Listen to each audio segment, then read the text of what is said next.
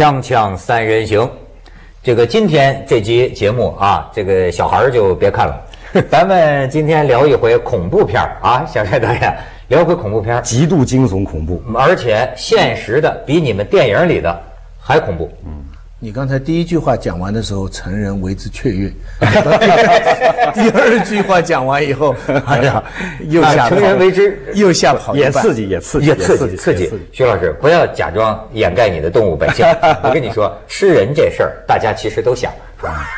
别别，不是，这是那个教授说的。嗯，教授说呀，我们人类嗯在最黑暗的一个地方，也就是说啊，你别装蒜，对吧？装惊愕，实际上你骨子里头，你最深处的那个地方，你有吃人的本能。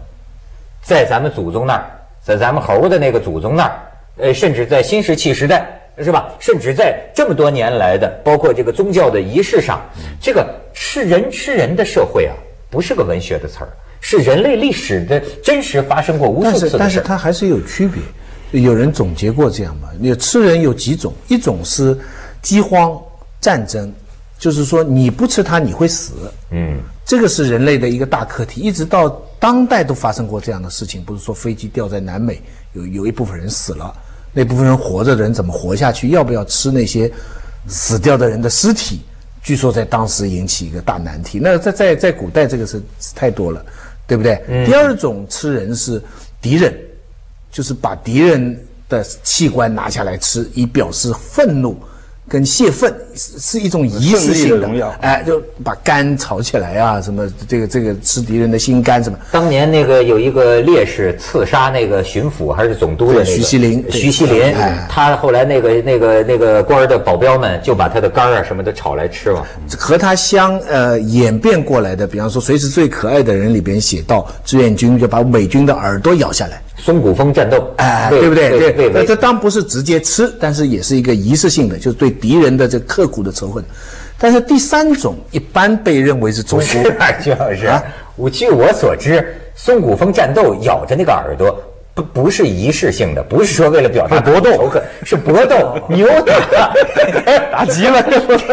你真把我们志愿军说是吃人吗？仪？式性的不仪式性的是第二种。啊仪式性的是是是人家后来的解释，对对对。人家后来的文文学教授怎么说出了第三种，啊，第第。三种就是说，把它当做一种美德，比方说把自己小孩杀了给父母吃啊，还有比方说最有名的，你这个这个晋文公重耳跑出去不是走投无路了吗？晚上就给就给我来一碗汤了吗？来碗汤吃的津津有对味献。子啊，限子什么的，嗯嗯。但是还有一种原因，徐老师，在世界上盛传啊，病毒，你知道吗？什么意思？这个身体变异了，觉得自己有吃人的欲望和必须要吃，见了人不吃不行了，失血症。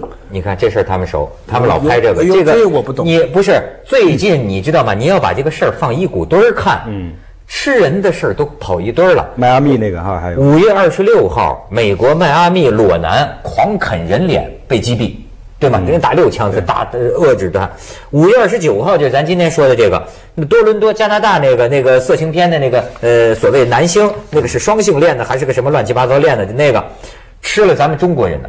吃了吃了中国留学生林林俊呢然后不是现在被被刚被抓住吗？法国、德国，他我我就知道他杀了，然后杀吃，他这个把那个臀部拿刀叉割，就完全像割牛排一样，割割割割割，割半天还好割不下来，割完之后生的。现场现现现场，那看着白白的翻的脂肪，然后他是他应该是拿那个叉子拿出画外了，那到底他拍没拍到，就是他是怎么吃的，这就拿出画外，那就我刚才就录节目之前，我坚持我说我一定要看一下，我才能有感受，对吧？我是决心要面对一切的人，对吧？哎，我一看这直面惨淡的人生看。不下去啊。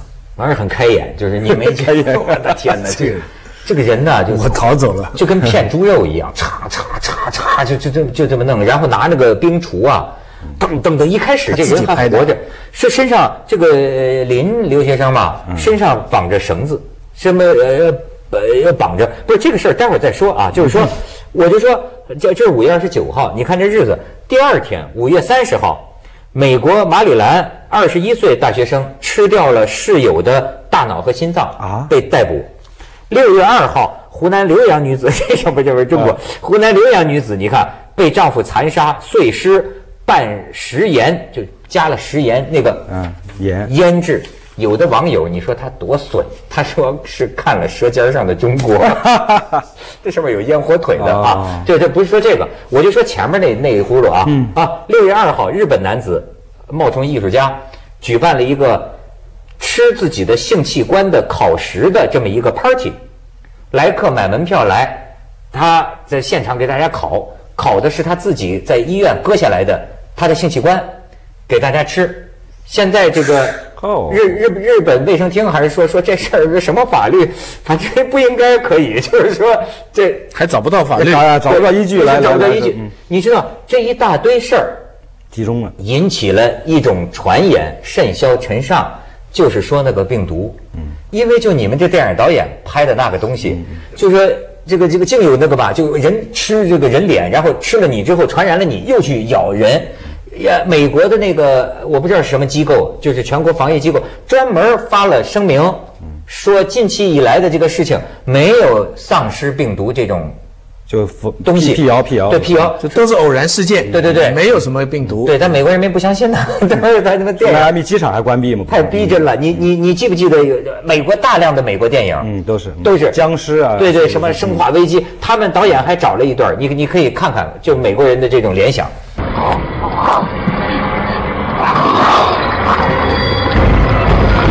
feeding her? You're sick. Just leave us alone.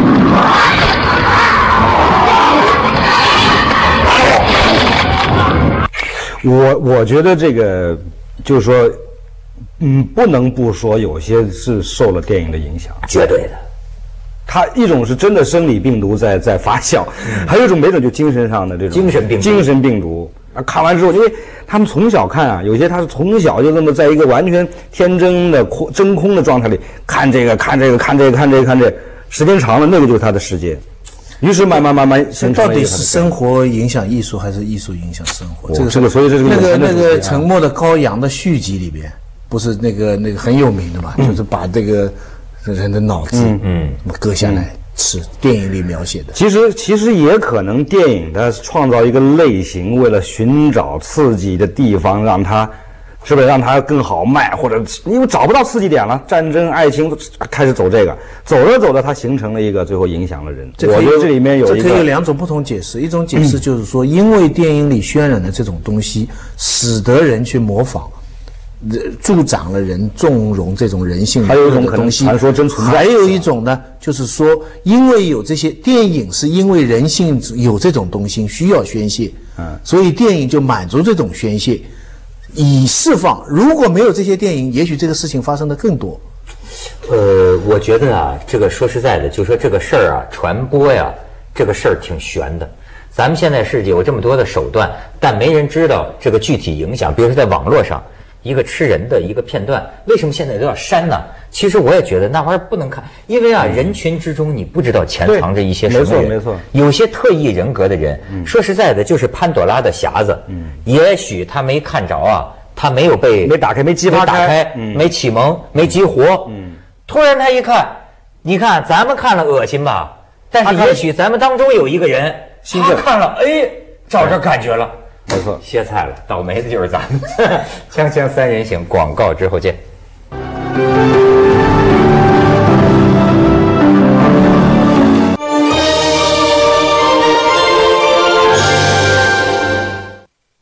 顶九韵古法，配桃花春曲，采无极之水，汇原酒精华，年份原浆，与景共酒。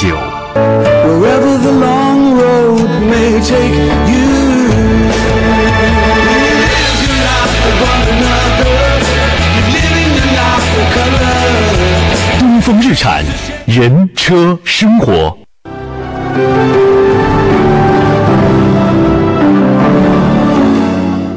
个这个加拿大的这个马尼奥塔呀，说实在的，还真跟他有点关系。他的行业演员是吧但是是色情电影情色演员哎。呦你看，涉嫌残忍杀害中国留学生的加拿大色情男演员马尼奥塔，你看看他什么模样，徐老师，你看小帅，很帅的啊。小帅哥啊，这这这这个造型的，你再看下一个，他还扮成女人的时候有的一个一个画像。这个你再看下边，这个是被那个监控录像拍下来的。他从法国啊，呃，逃到这个德国啊，呃，最后是在一个德国的一个网吧，柏柏林的一个网吧被被逮捕。你看，真是长得很似乎很精致的这么这么这么一个人，这也符合电影塑造。你看电影《沉默的羔羊》什么的，越塑造这种吃人的。他越要把这个演员文质彬彬、很清秀、很甚至有洁癖现在《。暮光之城》不是都是很漂亮的小伙儿，白白的那种啊，都是。相反，有时候大粗壮的，内心很纤细，越纤细的人内心可能有一种更邪恶的东西在里面。德国那件事情你们记得吧？我记得一我一直是觉得这是人性解不开的，是一个男的在网上嗯招找人说我要吃人，嗯，结果就有个人应征，你记得吗？有个人就是应征，征了就结果他们他就吃他，对，吃他的生殖器，不是，而且俩人还一块儿吃。对那个人跟他一块儿吃他自己的生殖器，最后吃完了说嚼吧嚼吧不好嚼，就吐就吐了啊。有那么一个事儿吗？而且你这这个不知道怎么来定罪，因为他们都是自愿的。这还他还选呢，还选网上有几个人都愿意被他吃，他挑中的这个人 来吃，说在身上啊，那用那个这个保鲜膜啊都弄弄上，按照不同部位扎上一个牙牙签儿，还写上肱二头肌啊，什么肌啊什么肌啊，咱吃这块，兄弟俩商量就吃。哎呀啊，这都怎么了呢？那像这个这个事儿，是不是我看也也有一点点是是不是完全被动的呢？还是有点这个主动，这就不好说哎了。这个嗯你你怀疑的，他们这个是同性恋的，呃，现在有消息说呢，这俩呀可能是同性恋的这个呃，至少是性伴侣，对吧？呃，然后呢，你看啊，这个这个，至少咱们从这个视频里呃这么来看，在最开始的时候，似乎呢有有没有玩性游戏的这种？对对对，绑的那种。这个你看啊，有一个网友他的这个分析，他就说这个觉得林和 M 就是这个马里奥塔这两个人呢，至少是固定性伴侣的关系，而且他提出一种毛骨悚然的玩意儿，这刚才小帅也说了，这名儿还挺美，叫什么？呃，冰恋嘛，说是。冰恋。这个冰恋呢，不是单纯的恋尸癖。你看，我们知道有一种人爱着这个这个恋人死了，一直保存的尸体。这个冰恋还不是说这个冰恋，其至少吧，其中有一种情况是 S M 这种呃游戏，但是呢，他还引进了一个更可怕的词儿，叫调教。嗯，有的时候你看这个人愿意玩这个，但是自己不懂啊，就说自愿被调教。调教嗯说调教好了，能调教的你啊，不但是主子和奴隶，就像那种受虐什么的主奴关系，调教到最后的境界哈、是能让你死，就你自愿的，调教你就是让你吃了，我就有快感，升华了，对。升华了，就是说能调教到这种程度。但我们不知道这件事情。呃，当然，这个不是这位专家呢，他根据这个案情分析啊，他认为不可能。这个呃，马里奥塔不可能是什么所谓调教的这个中国留学生的自愿的被他吃，他分析不可能，因为他说这个时间太短了，不可能说就这么一会儿，就在一会儿的时间就能够问。他这有时候这是一个很很艰难的一个一个过程，你知道吗？就所所以但是你刚才看的那个那个这个过程，他那个那个被害者有反抗吗？呃，就是这个时间，就是现在这个从他呃绑在床上到最后，其实其实拿那个冰冰镐在在在砍他的时候，其实已经应该是已经已经死死了。那么，呃，他也是经过剪接的。他没有完完完全全全程的，他这个十五分钟、二十分钟也是经过剪辑。那剪辑的什么时候拍的啊？什么时候是割了他头？什么时候这个过程其实是剪剪辑的，所以他很冷静，还把它剪完再弄呃放到网上。哎呀，真搞不懂人性怎么可以可以做而且他坐飞机，你看坐飞机的时候，后来好几个他飞机上的同飞机的人，后来回忆说，这个人确实他一上飞机身上都都是有味儿的，就属于这个因为可能死人嘛，它有一种死亡的味道。你说我们看到这个东西恶心、害怕、感到残忍，是因为我们受了教育呢，还是说因为我们的天性？天性，我觉得这是天性，这还不是教育问题。谁？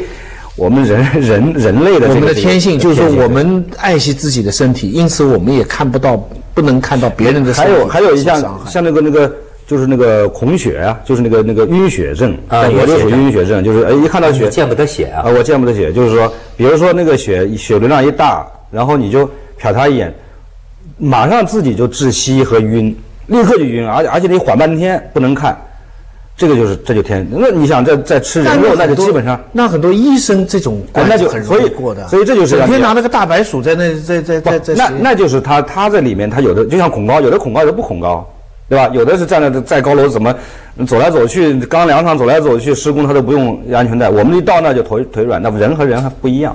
也就是啊，这个人性啊，我觉得所谓这个人性啊，深似海，他这个什么好像有黑暗的层面。这个黑暗的层面就是说呢，动物的时候我们就是相互残杀的嘛，对对对对吧？呃，一直到这个后来，就像我不吃你，你吃我，对这个动物就就这样就那个时候呃，对呀、就是就是说这个这个这个这吃，后来到很多部落里，你也知道都有这个这个吃人的嘛，是吗？呃，然后呢，你你你比如说，就像人讲的那个段子，说有些那个吃人族的，那个老婆刚生了孩子，跟老公说：“哎，老公趁热吃吧。”你就是他也有这种，但是是后来到了什么近代啊，发现了一种病，你说就疯牛症的那种叫什么病？就是那个大脑啊，就是这个这个呃石呃石灰化了，就就是说这个同类相残。有人说这像是一个诅咒。最后发现牛给牛吃的饲料里混入了牛肉，就牛就得疯牛病牛牛就得疯牛病。实际上，某个部落的人呢，最后发现他们就容易得这种大脑这个石灰质了。哎，就发现这是个食人族，他们经常吃对方的那个俘虏啊，或者打败了的。哎，才发现呢会带来这个问题。同类不能相但是食就不能吃。但是动物里边有很多种是不吃同类的。啊，对，它没有什么教育的，就是它们的天性里面不吃。呃，本来有人说是大部分动物都，但是其实也有些动物吃同类，但是的确有些动物是不吃同类的。嗯是所以人在这方面是一个比较差的动物，是个比较差的动物。对我奉劝大家还是不要吃人肉，你知道吗？就是因为呢，谢谢你的奉劝，至少至少别得了石灰石灰人肉馒头，没错，你们要听劝呐！我这么多年跟你们说不要吃，你看你们救救孩子还有希望。我跟你别吃人了我。跟你说，不要吃啊！就是我有一个理由，嗯，人家说的挺有道理。人可是食物链的终端。今天地球上的人类，在各种食肉当中，我们是最终是终端的。你看咱们什么肉肉肉吃吃这个吃那个这个吃那个，最后我们都把它们吃了吧？最高端你要知道，所有肉食身上的毒素，最后全集中都在人身上，你就吃吧。你这 锵锵三人行，广告之后见。对，这对啊。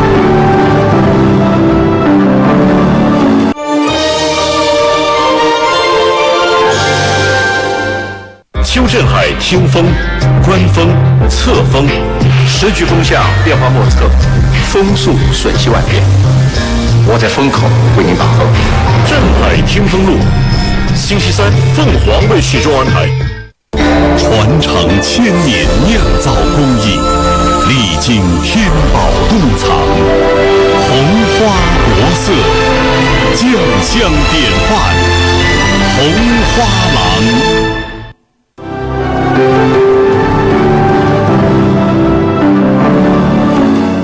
非常适合在中午午饭的时候。对，奉劝大家不要吃，对吧？也不要看，最好也不要看，也不要我传播。跟你讲，徐老师，这中国人呐，实际是非常……谁说中国人没有幽默感？我跟你说，这么悲惨的这个事件，要不说你看你这拍你这电影的哈，这么悲惨的事件，中国人都能弄出啊这个黑色幽默来。你看那个网上那个跟帖啊，一说说说这事儿，说敢吃中国人，这小子真是不想活了。说为什么？吃中国人赛过吃农药啊！全身是毒，咋的？对啊，就黑色幽默，对吧？所以所以被抓到了吗？害怕了吗？在飞机上飞机上是浑身都发散味儿了，这小子从这个 吃，但是其实我们当中吃的是蛮多的，还有胎，这个这叫什么？呃，轮胎就胎盘胎胎盘胎盘，对，你看胎盘，中国人做过营养，我刚才讲没讲完呢？三类啊，还有第四类就是补身体，就是把人身上的东西拿来补身体，比方说喝人奶，嗯，这个很普遍在乡下。我我记得以前在乡下，就是说呃生小孩了，小孩吃不完，他奶太多了，就挤出来给老人吃，不觉得这个有什么不道德。就是普普通是浪费是，它是液体的，或者像胎盘磨成粉，然后喝下去，可能你在意识里不知不觉的也就也就也就喝下去了。它的人肉这么搁着吃，对当然对，这这当然有区别。这个嗯，这个太恐怖了，你知道吗？所以啊，你现在就觉得，我现在有时候我作为掌管传媒的人，我也经常忧心，你知道吗？这个真是人类走进一条这个道路。你老子当年说，就说咱最好别联系，小国寡民，彼此别通气儿，对吧？很多人性这个恶呀，现在一有了网络呀，就说一知道这个事儿。是不是挺可怕？你比如说，就是真的，就是说，因为人性里边和各种东西基因都有，对对吧？你这个一段吃人的，而且不能提醒这个而且而且不能一说是人性的一部分就是合理化，当然了，对不对？现在因为很多人都说，哎呀，这个东西也是人性的一部分，好像这个就是有合理化的。你说网上就专门有这个网站，嗯，人肉怎么吃？嗯，你说这个互联网专门有这个的网站，有啊有这个爱好无奇不有，那个是啊。嗯，而且我觉得这种传播确实，我觉得没这个没有控制，没办法，它自自传，对。这下怎么办？怎么管理？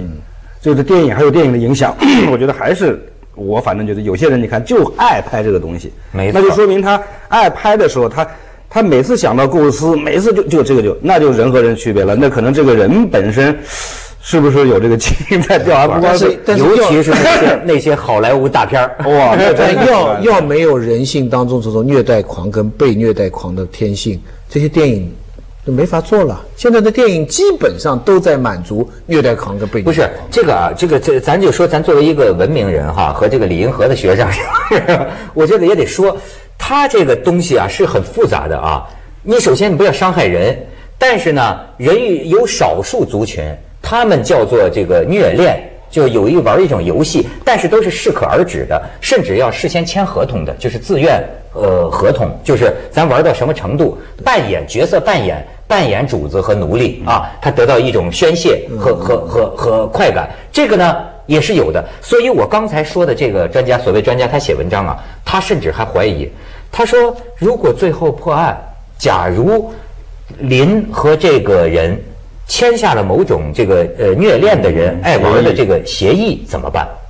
因为那个时候就说这个人就说哎，我愿意让你调教，但是他说他不他不不不我不敢。那么这玩意儿可能玩死人命，比如说窒息的自时候，对吧你得签下你的自愿的。他说如果双方签有这种东西，当然他是那也不行，我觉得从这个。呃，我不能说我你你可以杀我，我就真要杀你，这我拿怎么解释？这是非法非法条对呀、约那现在非法医疗上我我愿意那个医呃安乐死，那医生还不能那个什么？这个这个是是是是是，人不能说我要求死，你就可以干掉我，那不成。对，但是你就可以从这一个小角落啊看出啊，这个人性深似海，这个不可测。接着下来为您播出西安楼冠文明启示录。还是浮在海反正面上，反正这个我们还是浮在海面上。现在这个人类确实到了澳大利亚了，就确。